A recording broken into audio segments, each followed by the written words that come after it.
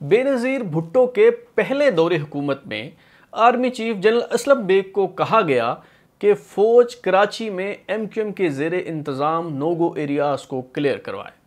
General Beg نے corps commander Karachi کو وزیر اعظم کے احکامات سے آگاہ کیا، مگر کور کمانڈر کراچی نے یہ احکامات ماننے سے انکار کر دیا۔ البتہ کچھ عرصہ بعد جب یہ کور کمانڈر خود آرمی چیف بنے تو ایم کیو ایم کے خلاف ملکی تاریخ کا سب سے بڑا آپریشن لانچ کیا۔ یہ corps commander general Asif Nawaz تھے جو بعد میں آرمی چیف بنے۔ میں ہوں بلال غوری، آپ دیکھ رہے ہیں ترازو اور آج ہم اسی موضوع پر بات کریں گے۔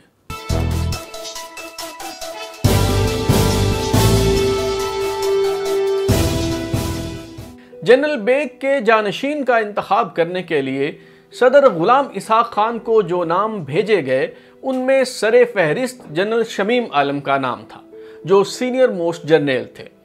ان کے علاوہ corps commander Karachi, lieutenant general Asif Nawaz اور corps commander Multan, lieutenant general Hamid Gul کے نام بھی پینل میں شامل تھے۔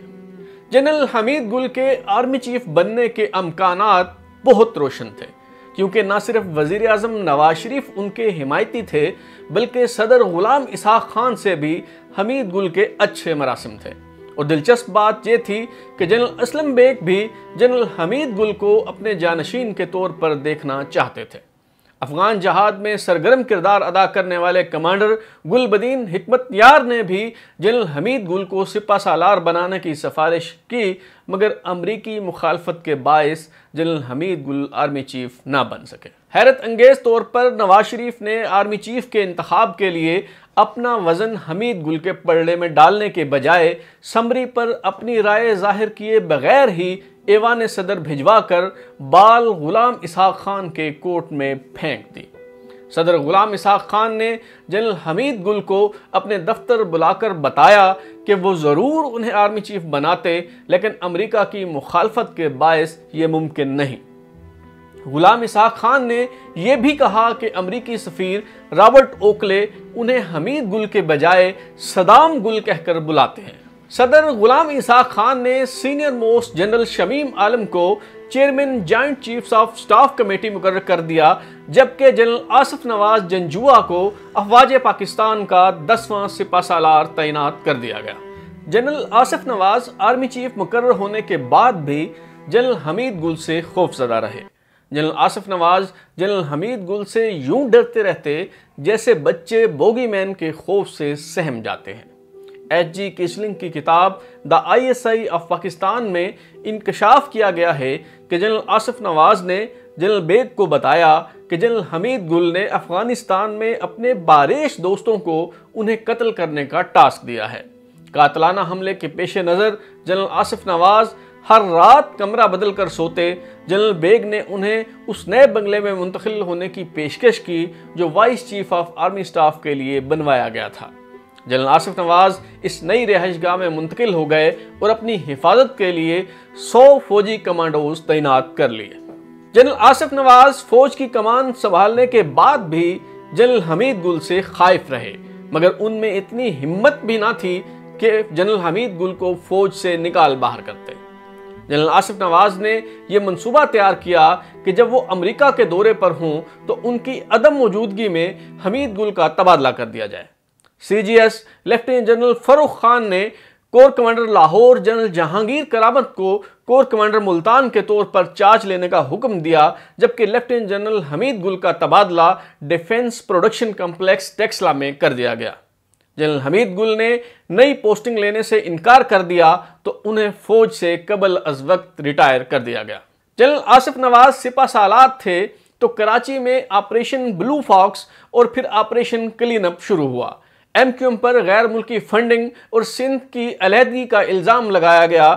جناح پور کے نقشے برامت کرنے کا دعویٰ بھی کیا گیا، لیکن corps commander Karachi lieutenant general Naseer Akhtar اور برگیڈیر امتیاز بلہ نے ریٹائرمنٹ کے بعد اعتراف کیا کہ جناح پور محض سیاسی ڈرامہ تھا، جو ایم کیو ایم کے خلاف رچایا گیا۔ اور فوج نے کبھی ایم کیو ایم کے دفاتر سے جناح پور کے نقشے برامت نہیں کیے۔ نواز شریف کے جنرل آصف نواز کے ساتھ اختلافات کا آغاز تو جنرل حمید گل کی قبل از وقت ریٹائرمنٹ سے ہی ہو چکا تھا۔ تاہم، جب نواز شریف نے جنرل جاوید ناصر کو ڈی جی آئی ایس آئی لگانے کا فیصلہ کیا تو انہیں فوج کی طرف سے سخت مزاحمت کا سامنا کرنا پڑا۔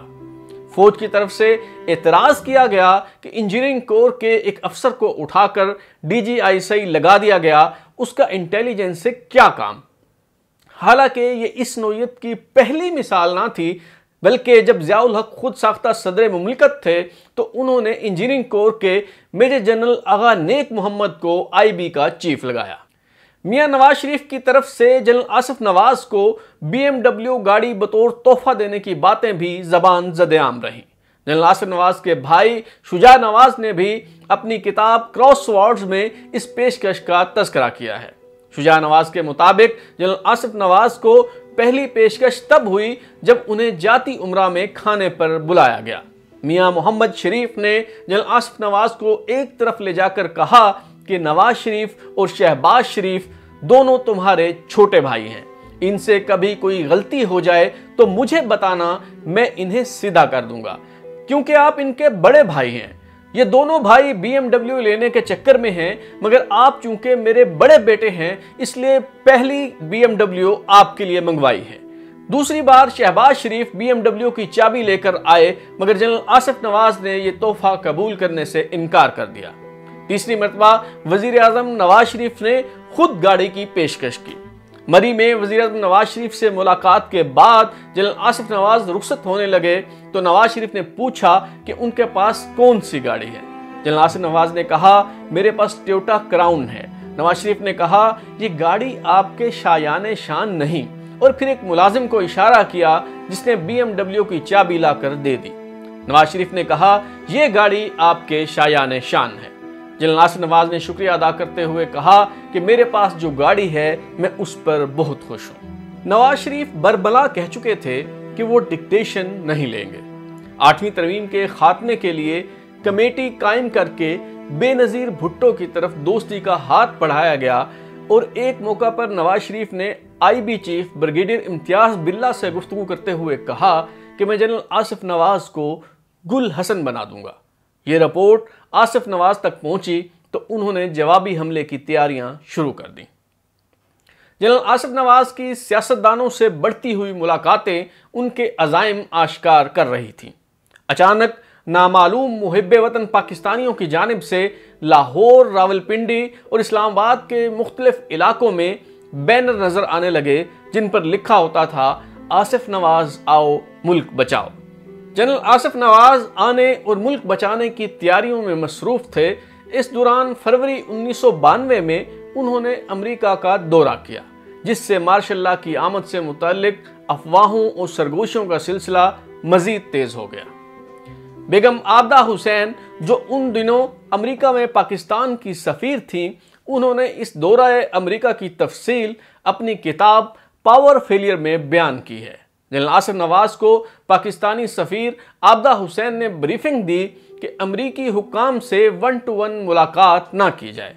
جنرل آصف نواز امریکی وزیر دفاع ڈک چینی سے ملنے پینٹاگون گئے تو آبدہ حسین کو یہ کہہ کر اٹھا دیا گیا کہ ڈک چینی جنرل آصف نواز سے علیحدگی میں بات چیت کرنا چاہتے ہیں۔ ڈک چینی نے کہا، اگر تم پاکستان کا ایٹمی پروگرام رول بیک کر دو تو بے شک مارشاء اللہ لگا دو۔ امریکہ کو کوئی اعتراض نہیں۔ شجاع نواز کی کتاب میں بیان کردہ تفصیل کے مطابق جنرل آصف نواز اس سے قبل سی آئی اے حکام سے یہ بھی پوچھ چکے تھے کہ کیا امریکہ یہ چاہتا ہے کہ افواج پاکستان مداخلت کریں؟ جنرل آصف نواز کے ایٹمی پروگرام سے متعلق خیالات کسی سے ڈھکے چھپے نہ تھے۔ یہی وجہ ہے کہ امریکہ نے ایٹمی پروگرام رول بیک کرنے کے عوض مارش اللہ لگانے کی اجازت دے دی۔ افواہوں کا بازار خوب گرم تھا۔ جنوری انیس سو ترانوے میں یہ بات زبان زد عام تھی کہ کسی بھی روز فوج ٹیک اوور کر سکتی ہے۔ مگر اس دوران آٹھ جنوری انیس سو ترانوے کو ایک حادثے نے ان افواہوں کا گلا گھونٹ دیا۔ افواج پاکستان کے سربراہ جنرل آصف نواز ٹریڈ مل پر ورزش کرتے ہوئے گرے اور دنیا سے رخصت ہو گئے۔ جنرل آصف نواز کی اہلیہ نے خدشہ ظاہر کیا کہ ان کے شوہر کو زہر دیا گیا ہے۔ جنرل آصف نواز کے بھائی شجاع نواز نے بھی تحقیقات کا مطالبہ کیا تو قبر کشائی کر کے چند پارچہ جات لیبارٹری میں ٹیسٹ کے لیے بھیجے گئے، مگر زہر کے اثرات سامنے نہ آئے اور یوں یہ کیس داخل دفتر ہو گیا۔ جنرل آصف نواز کی ناگہانی موت کے بعد ان کے جانشین کا انتخاب کیسے ہوا؟ اس پر بات ہوگی اگلی قسط میں۔ سبسکرائب کیجیے اور دیکھتے رہیے ہمارا چینل ترازو۔